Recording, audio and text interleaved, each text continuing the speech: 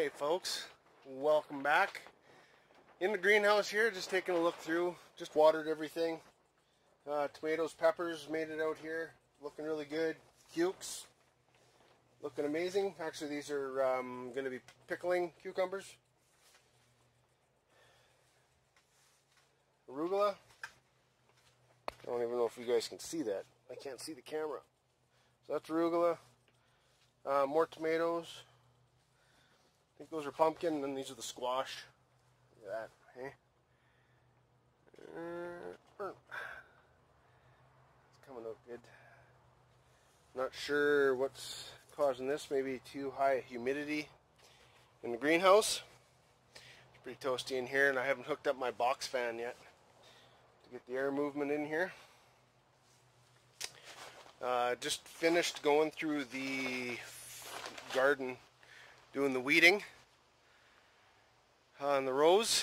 Uh, I don't see any carrots yet, but I did see uh, peas, beans, and some of the, the mesclun salad mix is starting to pop there too. So uh, I got to get my fence up, so I made some more phone calls this morning and I found a place in Calgary, uh, Phoenix, Phoenix Posts, Phoenix Fencing.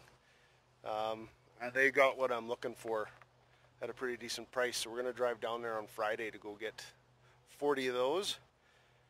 And yeah, you'll see in the video here a little later, I got some deer fencing that I ordered years ago that's sitting in another shed. I'm going to pull that out and make sure that those are 100 foot lengths because I don't remember um, how long they are. So I got to make sure I got enough fencing, right? So no point in putting up the posts. I'll get the post up. Got to make sure I have enough fencing. Uh, and then the other thing we're going to work on here today is our uh, John Deere 240. So this is like a early 90s tractor. Uh, my parents actually owned this when I was growing up. So I was a kid when I was mowing the lawn with this thing. So she's got lots of hours, but um, I broke this. Uh, and that is the tension spring to basically give this device um, a spring load so it's not, my hand's over there, um, spring load so it's not uh, all the way to the bottom. So basically, it'll allow it to float. I mentioned it before. Uh, so what I'll do is I'll, I'm going to take this up to the house now and try taking it apart. Hopefully I don't have to cut it. I'm hoping to uh, WD-40 and unscrew it. And then I've, like I said, I had to, I had to buy the replacement part on eBay out of the U.S. So couldn't find anything up here in Canada and John Deere stopped making these parts years ago. So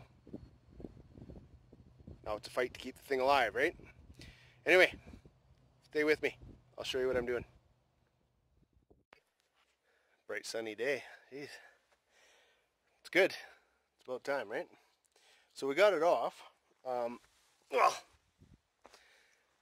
I got this part off in two pieces. Uh, not supposed to be. This is what it's supposed to look like. Um, the handle screws into the end here, and this is actually what I broke was the uh, this nut is welded onto the back of the the spring, and I and I busted it off the back of the spring, and then it wouldn't unscrew, so I had to cut it. But uh, now that I've kind of been underneath the lawnmower, I can't, I don't have the tools to get this thing, this lawnmower up off the ground and work underneath it. So we're going to load it up and take it to a friend.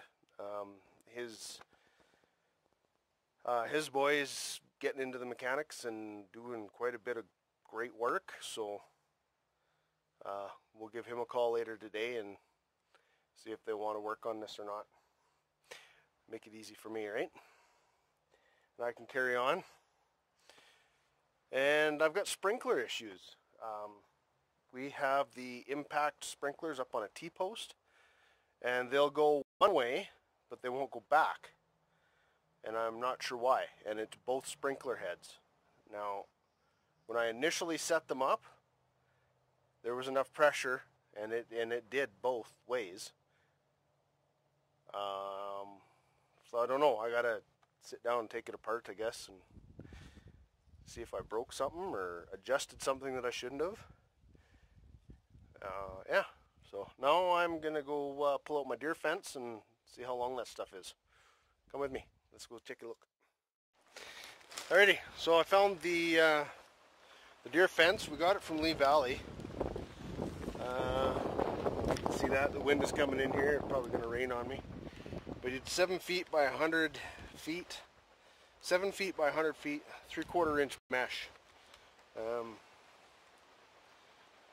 UV resistant, high density polyethylene, lightweight, uh, suitable for covering plants and shrubs in winter to prevent grazing, deters deer, rabbits, and other unwelcome guests. So it's, uh, so I got 400 feet. So that'll be lots to do this garden. Oh, piece of plastic. Alrighty, here's the last little clip here for the day. So right here is the lumber for our Joel Salatin style chicken tractor. So these are roughly going to be um, 8 feet by 12 feet. And we're going to be able to house up to 75 birds in each, and I'm building two. Uh, and then whatever the height is, I can't remember. It's I think it's 60 centimeters is what it is. And then uh, the lid on the thing is going to consist of half of it being uh, tin. So I've I've got some old tin off of uh, our addition from a couple years ago when I redid the roof. Um,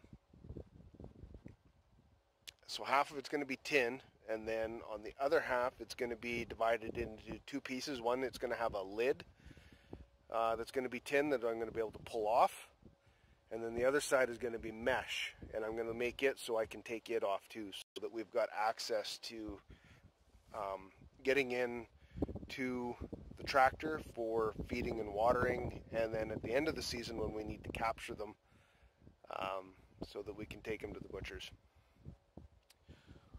So yeah, chicks show up tomorrow, and I'll show you. Uh, I'll record that, and we'll get that posted too.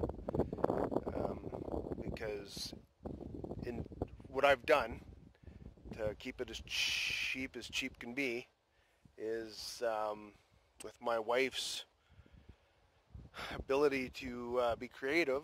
Um, the grocery stores use watermelon boxes, and these things are like five feet square, and then they stand like 20 inches, 24 inches tall. Um, and they crush them down and throw them out. So they, we catch them before they do that. So we've got two, and then we'll put uh, 50 chicks in each one of those boxes uh, until they're three weeks old, and then we'll put them outside in these tractors. Uh, yeah, so the chicks show up tomorrow, and the water well driller is showing up tomorrow uh, to pull the casing out of the water well and fix and repair that uh, because we've got issues with our water well add up to uh, other things that are going on around here. Um, yeah, and I told you about the lawn tractor.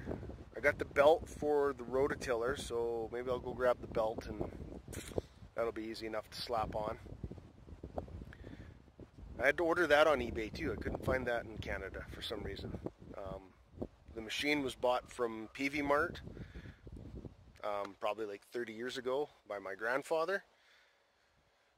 And then, uh, yeah, like I mean, the thing is in tip-top shape. It's phenomenal. It's been covered storage and indoors and stuff like that. So it's things like new.